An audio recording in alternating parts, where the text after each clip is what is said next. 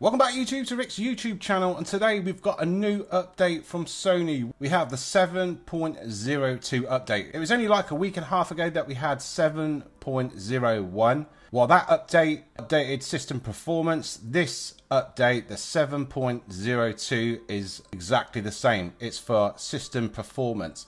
Now, when Sony launched the 7.0 update, there were a lot of problems with people installing it 7.1 there weren't so many problems. 7.02 there should be no problems installing it but if you do have a problem installing it jump into your notifications.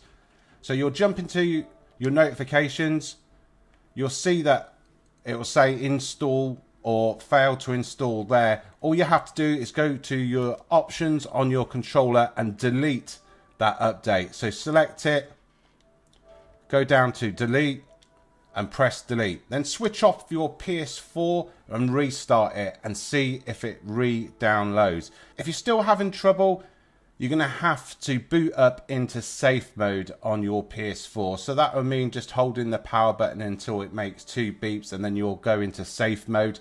And once you're in safe mode, you'll need to update using the internet and try updating your PS4 that way. But like I said, there should be no problems because there were system performance fixes in this 7.01 and also 7.02, which is in the last hour, that fixes system performance problems as well.